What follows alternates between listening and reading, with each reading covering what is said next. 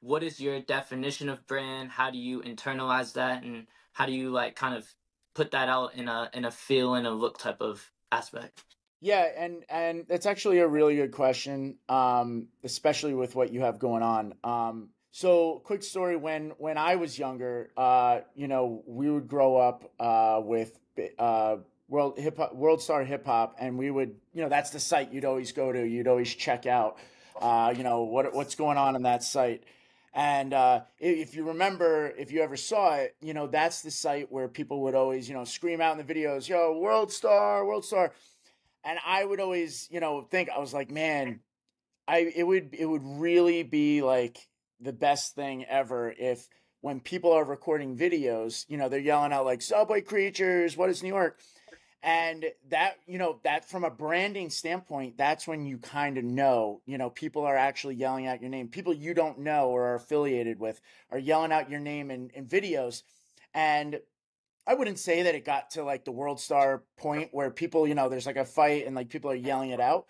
However, there's been multiple times, uh, and and again, it's just a, it's it's a really great feeling. But people will be recording something, and in the background you hear someone going oh my god you have to send this to subway creatures or oh my god you have to send this to what is new york and you know that's a really like proud moment for me when when i do hear that because i don't know who these people are but their first thought while they're recording something is i can't wait to send this to this page and you know it's a it's a like i said it's a really great feeling um and you know i always try to like use those clips because from a branding standpoint you know when you post that video if someone else comes along and reposts that video, now you have the audio kind of burned into it where someone's saying, I want to send this to Subway Creatures. So, you know, from a branding standpoint, that's great.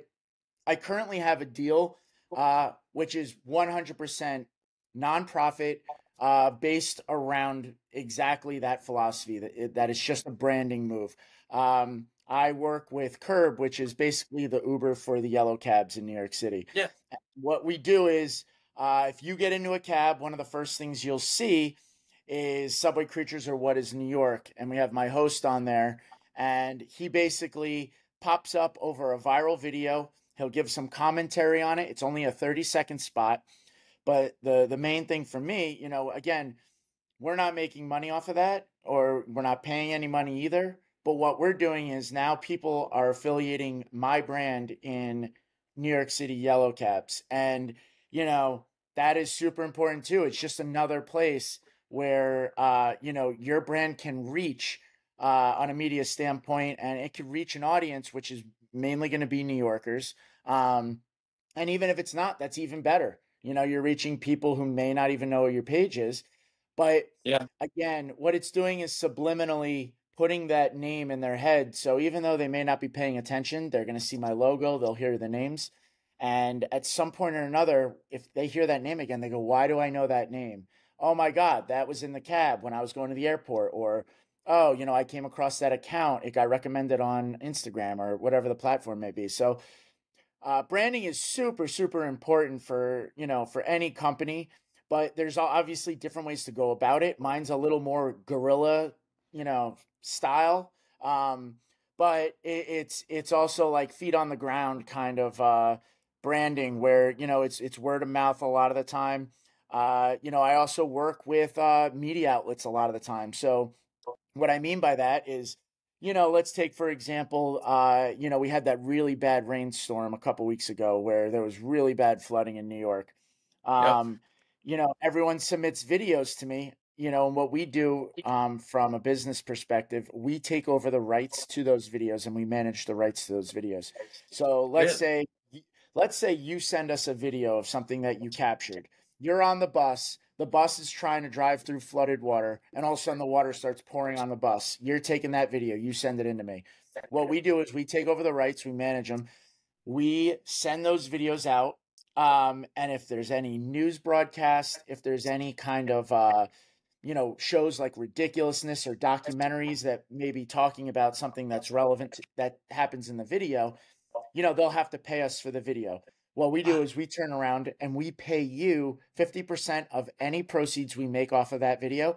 And that also goes in perpetuity, which means as long as that video exists, you're always going to be making money from anything that we sell. So, it's an incentive for you to continue to to send in where otherwise of it's a video that you may not it may not ever see the light of day. No one would yeah. see it other than you. So it kind of everyone wins but where i was going from the branding standpoint is then what happens is the you know let's say cbs news abc news nbc they'll reach out and say hey you know we're doing a package on tonight's five o'clock news. Uh, we want to highlight uh, some of the flooding that happened in the city. We want to use your videos now when that video pops up on the screen, it's going to say courtesy, what is New York, courtesy Subway Creatures. So now your brand is reaching, you know, a, again, another demographic or another audience that again may not see it. So now, if you're a New Yorker, you're now seeing my brand on the news, you're seeing it in cabs, you're seeing it on social media. So, you know, branding, it, like you mentioned, it, it comes in many different ways. But for me, from a social media perspective, and as a social media company and a digital media brand, it's it's a little different, and you got to kind of get creative with how you get it out there. But uh, that's those are some of the most effective ways that I've I've found. Uh, you know, it, it's effective and it works getting my my name out there. That is incredible. There's there's a few parts of it that I want to dive into. The the first part is you know, you talked about the first part has to do with the naming because you talked about, you know, subway creatures. You were getting a lot of videos that you felt like weren't necessarily in the subway. So you wanted to create a new brand around that. And then you kind of have replicated that that process multiple times. So for you, right. it seems like you have a very clear do's or don'ts when it comes to a specific brand. So I guess how do you process that? How do you protect your brand, or maybe what are some of the do's and don'ts that go through your mind when it comes to is this on brand or is this off brand? For sure. Um, so let me just start with the name. So the name Subway Creatures. I when I was coming up with the idea for this account, uh, again way back, there was there was no other accounts like it. I always thought, and again, this might be a little archaic for your audience, but there used to be a time on television where there was a TV guide and you would go through and it would just tell you what's playing on every every station. And what what happened was, you know, whenever I was on it, I would always scroll through and even whether I knew what it was or not, I would kind of always find myself clicking on the things that seemed the most interesting. What's the name that kind of stood out to me? And I always remember thinking, like, what's a name that would be on that TV guide where I would be like, I gotta stop and I gotta look at what is what is that show? What is happening on that station? Like, and then I was like, bam, Subway Creatures. It kind of came to me naturally, and I was like, wow, that's the name that if I was going through TV Guide, I would be like, this is absolutely uh, something that I need to uh, click on. So that yeah. was that was part of what goes behind the name. Now, negatives to that. Uh, you're talking about a name called Subway Creatures. Now, there's a lot of brands that may not want to be affiliated with a brand name that's called Subway Creatures. I've had that work against me in the past.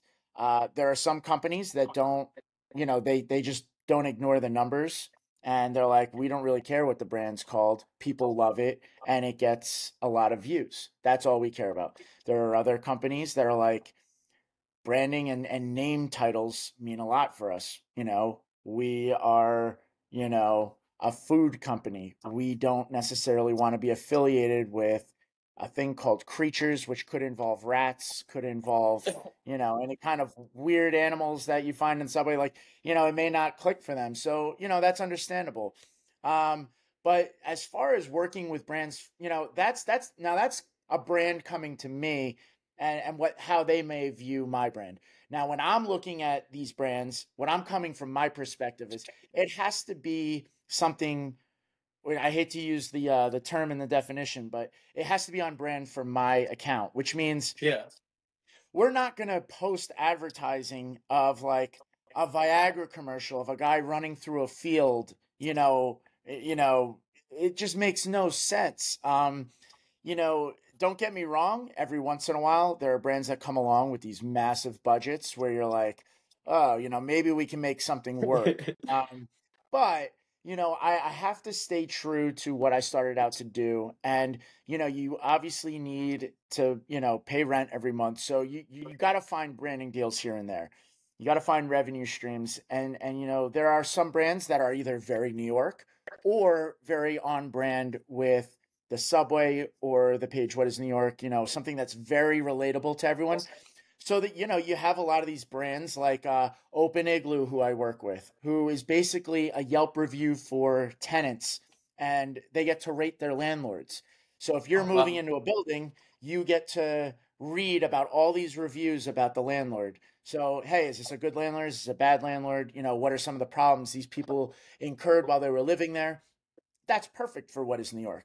Yeah, or, of course. Uh, you know, there's a there's a lottery company I work with, Jackpocket. You know, um, it, it's just right on brand, you know, because what they want to do is they want to be able to use the content that we post anyway and say, you know, maybe we'll say something in a caption that says like New Yorkers need a vacation. You know, to afford that vacation, let's play the lottery and win the lottery, and we'll get we'll go away.